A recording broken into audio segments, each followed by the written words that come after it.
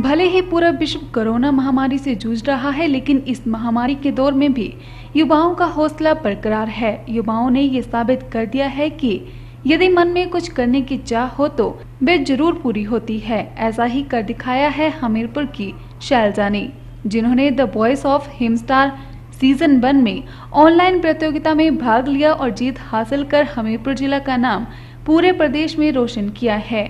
आपको बता दें कि the voice of Him Star season one में हिमाचल प्रदेश के 12 जिलों से प्रतिभागियों ने भाग लिया था। इस प्रतियोगिता में पहाड़ी गायक करनैल राणा, संजीव दीक्षित गायक सुनील और अमित अनवेला ने जज का किरदार निभाया है। दो महीने से चली इस प्रतियोगिता में जजेस द्वारा विभिन्न टास्क दिए गए, जिसमें कंटेस्टेंट्स को गायिका लता मंगेशकर के गाए हुए गाने, गायिका आशा के गाने और पहाड़ी गाने गाने थे, जिसमें हमीरपुर की शैलजा द्वारा बेहतर प्रदर्शन किया गया और सभी टास्कों को पूरा करने के उपरांत शैलजा ने the voice of Him Star season का खिताब अपने नाम किया। The voice of Him Star season one की। विनर शैलजा ने बताया कि the voice of Him Star season one की ऑनलाइन प्रतियोगिता में भाग लिया था, जिसमें पहाड़ी गायक करनैल राणा, संजीव दीक्षित, गायक सुनील और अमित अनवेला इस प्रतियोगिता के जज थे। शैलजा ने कहा कि उन्हें the voice of Him Star season one की विनर हैं और वे बहुत खुश हैं।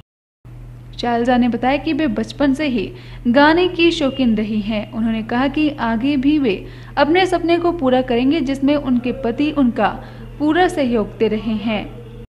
सर, ये दो महीने से चला हुआ था ऑनलाइन, और इसमें अलग अलग राउंड थे, जैसे कभी लता जी के सॉन्ग्स कभी आशा जी के पहाड़ी अपना फोक, जैसे हिमाचल का हो रहा है ये।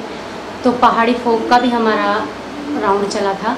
और उसमें बहुत अच्छे जजेस के साथ मिलने का मौका मिला, जैसे हमारे करनैल जी, जो कि हिमाचल के बहुत प्रसिद्ध गायक हैं, और संजीव दीक्षित जी, वो भी हमारे जज इसमें थे, और सारे गाँव फेम, आवाज़ पंजाब पंजाबी फेम, वो हैं सुनील जी, वो भी हमारे साथ थे, और अमित अलवेला जी, वो भी हमारे जज इसमें थे, और मुझे बहुत अच्छा लग रहा है कि मैं हिमाचल में विनर हूँ इस बस सर यही है कि बस सिंगिंग को ऐसे ही जारी रखूँगी।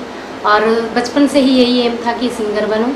तो मुझे हस्बैंड भी इसी लाइन के मिल गए और मेरे सपनों को पूरा कर रहे मेरे हस्बैंड तो बस सिंगिंग का ही करते हैं।